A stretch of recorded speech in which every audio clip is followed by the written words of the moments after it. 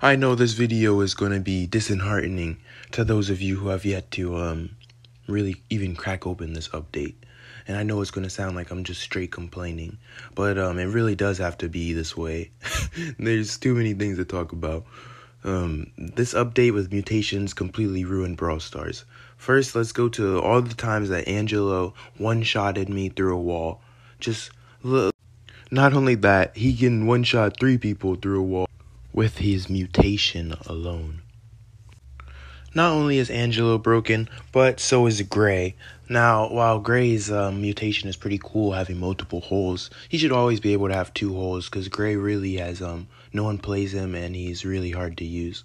But yeah, so the hook now, Gray can drag someone into the walls. So if you're playing as Godzilla, look, Gray will literally just do what happened on the screen, drag you right into a wall and you'll be stuck there for the whole entire match, allowing them to use this exploit to literally gain like hundreds of trophies just by by playing this Godzilla mode and trapping one of the brawlers. There's groups of three who who no life brawl stars, and so they go in there with Gray, Ricochet, and Colonel Ruffs. Not only that, but it's it's a straight up development issue.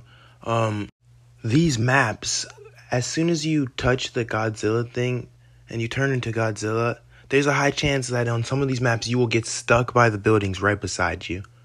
There's a there's this um idea that you can glitch through the walls as Godzilla and just get straight up stuck. It's happened to me so many times.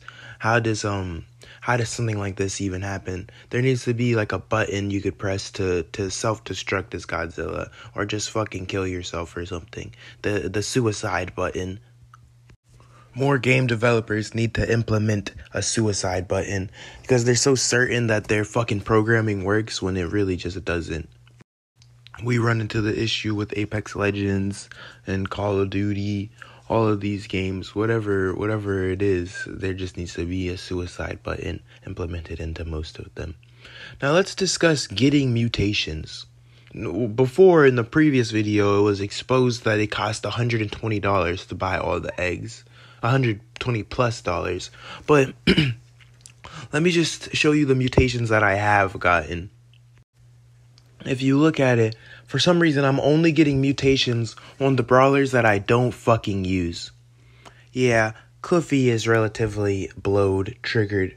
I mean, you got Grom, the most retarded and uh, mutation, just four shots in one. You got Sprout, another fucking seed wall. Why is it that my below 500, not even star power unlocked brawlers, why is it that they're doing this to me? I can't I can't even afford to pay for more and then they don't even want to give me a good mutation. Like there's so many mutations that are fire.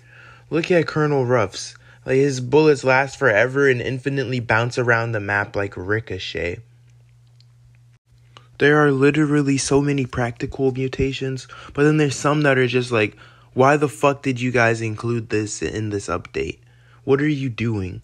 What are you doing? The Brawl Stars developers are so weird. I don't even know why I'm complaining. It's to be expected that they half ass this game. It's to be expected that they go for a cash grab.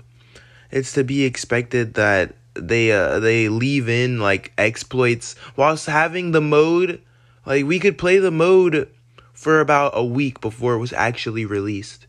Like there were people testing the mode for a week. What's the point of pre-releasing a mode to allow them to play test it in non-ladder matches?